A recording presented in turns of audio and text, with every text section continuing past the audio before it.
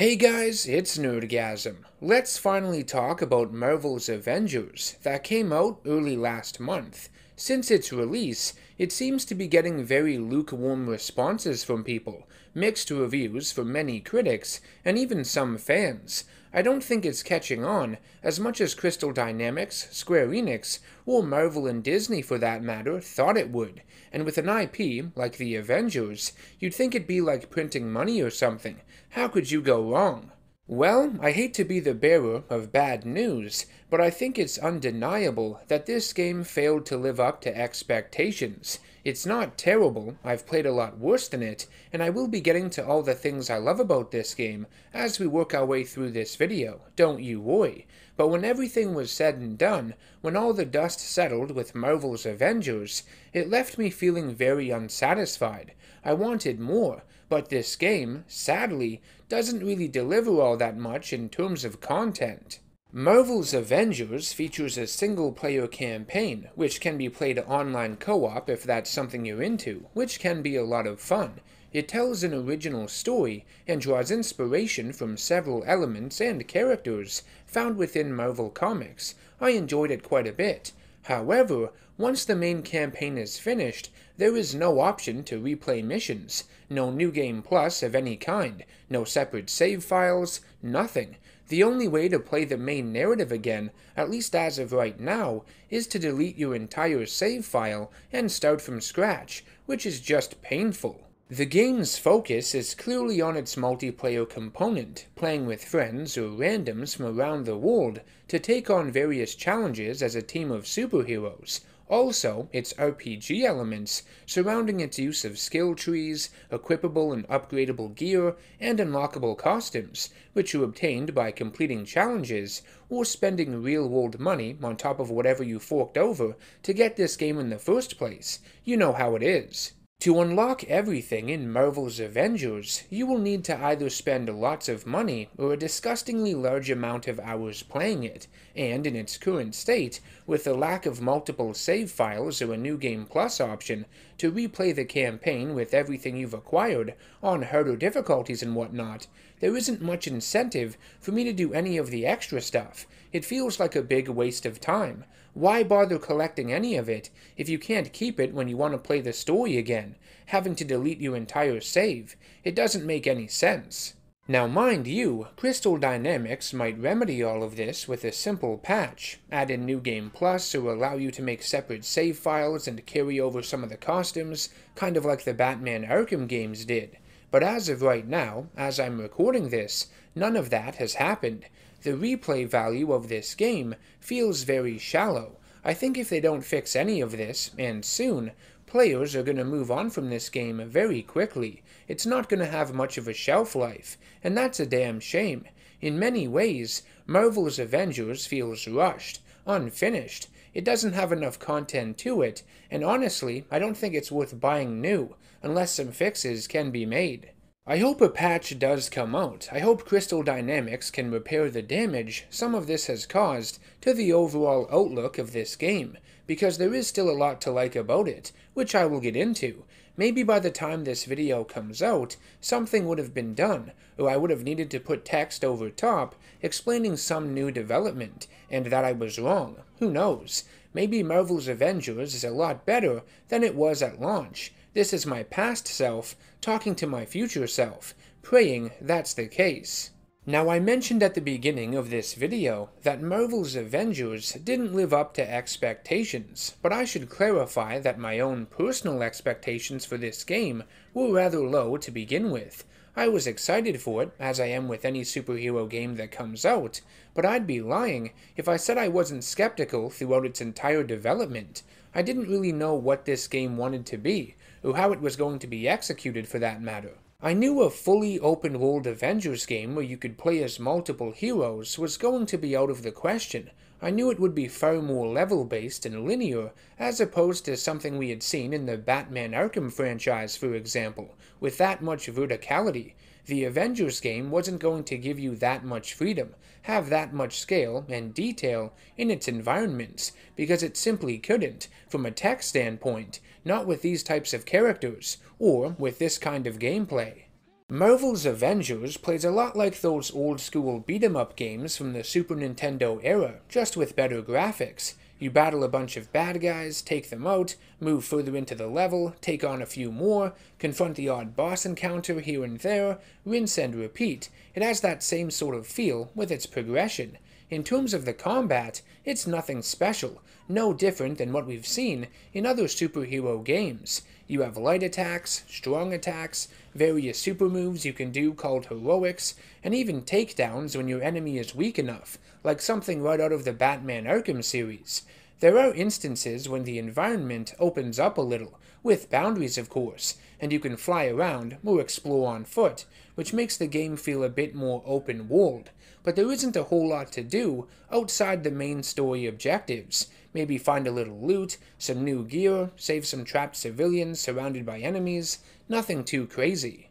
There are some cool environments in this game. Some look really gorgeous, spooky, and even vibrant, popping with color, but some other ones, mainly the interiors, look really bland and uninspired, lacking personality, stuff we have seen far too often before in superhero games.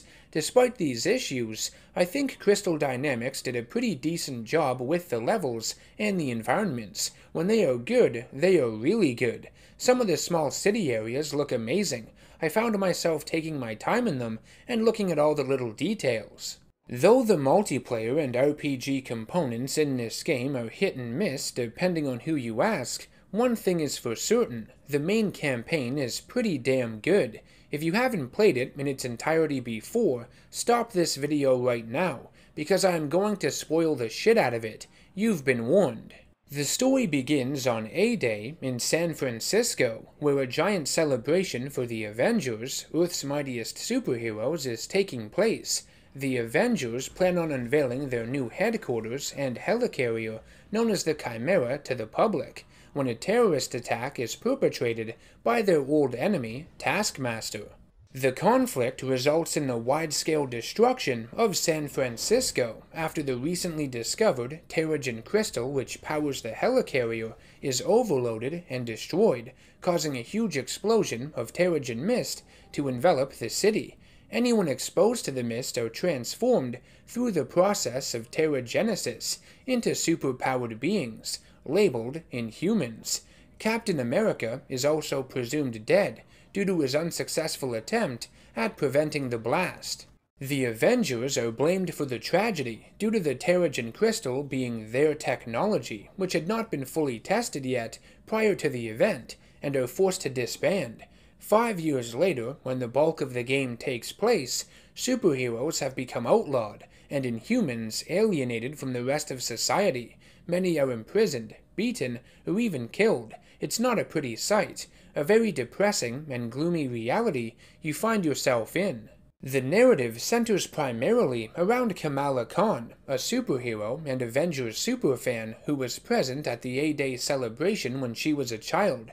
She wanted to be just like them, and from the very start, her good-hearted nature, strength, and passion are at the forefront. She's a very likable character you can get behind. She becomes an inhuman as a result of the Terrigen Mist, able to polymorph and transform her body at will. In secret, she trains to become a superhero, and after uncovering evidence behind what really happened on A-Day, sets the events of this story in motion. Kamala finds and reconnects the broken link between the Avengers, picking up the pieces, brushing everyone off, and reassembling the team, feeling superheroes are needed now more than ever. As the story progresses, you locate and recruit each Avenger who has lost their way, and it's up to Kamala to bring them back and realign their motivations and purpose as heroes. Following their disbanding and the outlawing of superheroes, the Avengers no longer get along, especially in the case of Bruce Banner and Tony Stark, who put blame on one another for what happened on A-Day. Despite her age and inexperience as a hero, Kamala becomes the shoulder the team leans on during this dark and hopeless time. She is their coach, their motivator, and at one point gives them a pep talk which even Captain America himself would shed a tear at. It's easily the most powerful moment in the game. I really enjoy the character of Kamala Khan, Miss Marvel, Like I said, she is very likable, and as fans, we know exactly where she is coming from with a lot of this stuff. We hang on every word she says because it's what we ourselves are thinking, seeing our beloved heroes in the state they are in. What they did with Kamala Khan in this game, it's definitely the best aspect of the story, at least in my opinion. Okay, so let's talk about this game's primary antagonist, the main reason I wanted this game in the first place. I was curious to see what Crystal Dynamics was going to do with the character of MODOK. If you've seen my supervillain breakdown of him, you would know that I feel this character is heavily underrated, and in a lot of media outside of comics, especially video games, I feel he's been misused. He's usually played for laughs, which I get. He looks a bit silly, big head, little body, but I'm glad Square Enix took the time to really flesh out their own version of him, take him in a very serious direction, and, for the most part, I think it works. George Tarleton was the scientist who discovered the Terrigen crystal that would be used to power the Chimera helicarrier. On A-Day, he was one of the victims of the Terrigen Mist, and went through Terrigenesis, developing technokinetic powers, that is, the ability to control and manipulate technology with his mind. His head would enlarge, and he would hide it from the public, becoming more and more mutated as the game goes on. In the wake of A-Day, the disbanding of the Avengers, and the criminalization of superheroes, Tarleton takes it upon himself to form the mega corporation known as Advanced Idea Mechanics, or AIM for short, that intends on purging the world of not only inhumans, but all those that possess superpowers on Earth, even himself, if need be. Tarleton feels that he has become a freak and blames the Avengers and superpowers in general for what had happened to him, he works alongside geneticist Monica Rappaccini to experiment on Inhumans and find a possible cure for their so-called condition. It's revealed that she had been manipulating Tarleton's powers behind his back, using blood samples from Captain America, whom she had been keeping on ice in outer space. She's the reason his body has become so deformed, forcing him to use a mechanized chair to get around, Needless to say, he doesn't take it too well. MODOK in this game is written pretty decent. I think the alterations they made to his character work within the confines of this story. You sympathize for him a bit once the true intentions of Monica are revealed. He was essentially a test subject for her this entire time, a puppet of sorts. I also think his motivations regarding the destruction of all superpowers is quite interesting and strong enough to carry the game's narrative. That said, I don't think he's as strongly written as, say, Dr. Octopus was from Insomniac's Spider Man game. MODOK is pretty good, but not great, and I think that has less to do with him specifically and more to do with how this game is structured as a whole. Allow me to explain. Before I can, though, I have to bring up Advanced Idea Mechanics, the other big reason I wanted to get this game. Much like MODOK, I felt they deserved some time in the spotlight to show the mainstream what they could really do. AIM is essentially a villain in and of itself in Marvel's Avengers. It's its own character in many ways. The developers really gave this company personality, modeling the visuals and architecture off of a beehive, with lots of honeycomb shapes, emphasizing the idea of this hive mind mentality to them. Even the enemies and AIM forces you go up against in the game have a very unique feel to them because they are always changing, evolving in some way to take on the superpowered threats they face. As the game progresses, they get stronger and more equipped. It really feels like you are facing off against this artificial intelligence of sorts, learning off of you, and altering its strategy when necessary, like a big chess match or something. Of course, this obviously isn't the case, but the design of AIM, the visuals, the way they are implemented within the narrative, again, it almost becomes a character in and of itself. I hope all of that makes sense. AIM is one of the strongest aspects of this game in my opinion. The problem is, Crystal Dynamics leans a bit too heavily on them. They become a crutch in many ways. I've noticed a lot of reviewers say the combat of Marvel's Avengers is very repetitive and even a bit boring.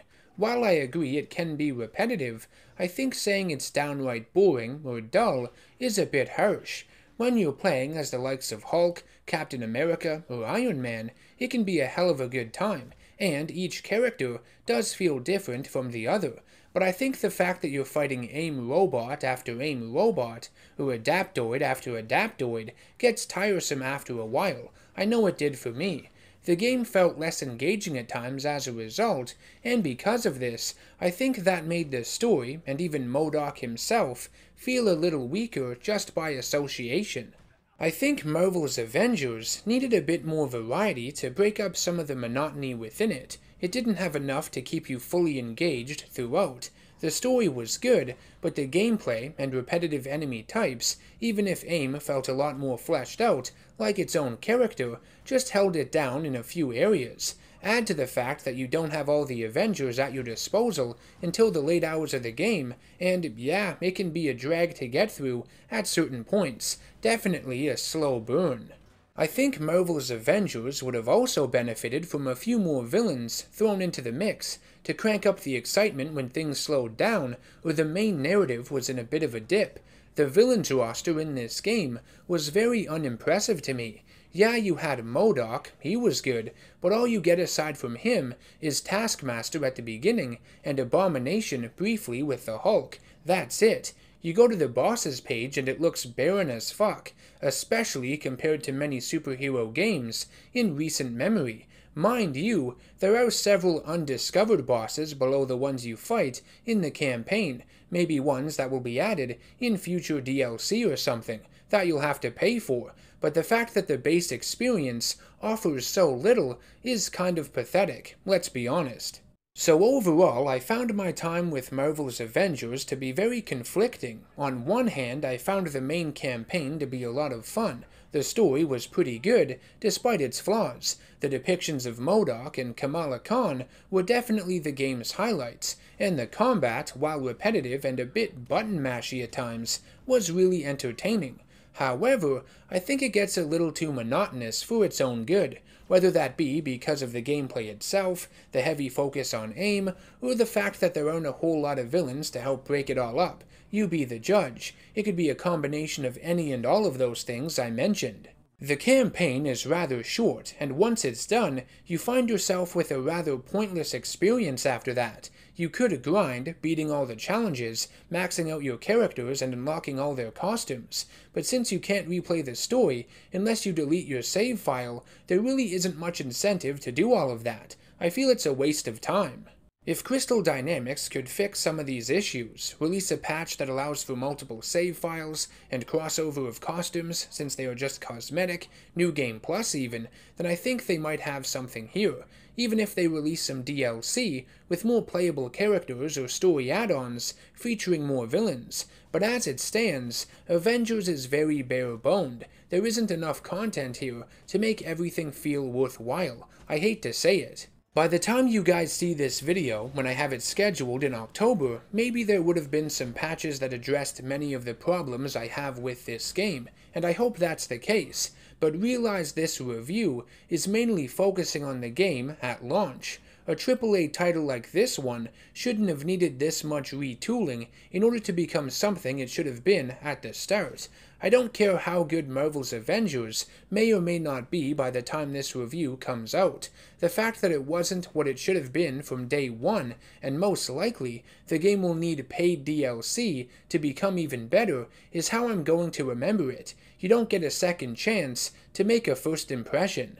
Performance-wise, Marvel's Avengers is a bit of a mess. Frame rate issues, the odd screen tearing, texture popping, countless glitches. It even crashed on me a few times throughout my playthrough, which is always frustrating. I get a sense that Crystal Dynamics were in over their heads a little bit with this game, that they ran out of time or money. It just doesn't feel finished. Maybe it was just too ambitious for them to take on, or they had a great concept, but all the pieces just didn't match up the way they intended. Who knows? As the game is right now, it's very unpolished and needs a lot of work before I could recommend it to anybody. The main campaign is good, the story is fun, definitely worth checking out and experiencing for yourself, but it's not long enough or compelling enough throughout for it to be worth the full price of a game, not even close. I think there are countless other Marvel games out there that accomplish a lot more than this game does, even ones much older than it. Marvel's Avengers has a lot of potential, but unless some of its major issues are fixed, then I don't know if I would call it must play material. This has been Nerdgasm. I want to thank everyone for watching this game review. A lot of work goes into making these kinds of videos, more than you might realize. If you enjoyed it, I ask that you please subscribe to the channel, share the video to anyone you feel might like it too, and help support my content over on patreon.com if you can. I have monthly polls that determine which comics and video games I analyze on YouTube, and all you have to do to participate in them is become a patron by joining any of my tiers. Thanks again for watching, and I will see you all in the next one. Take care.